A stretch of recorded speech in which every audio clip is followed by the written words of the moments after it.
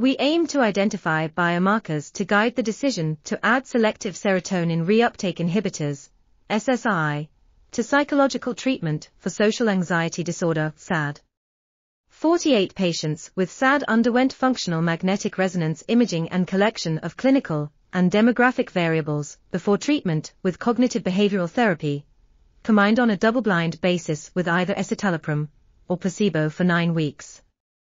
Pre-treatment neural reactivity to aversive faces in the dorsal anterior cingulate cortex, ACC, but not clinical the demographic variables, moderated clinical outcomes. Cross-validated individual level predictions accurately identified 81% of responders and non-responders.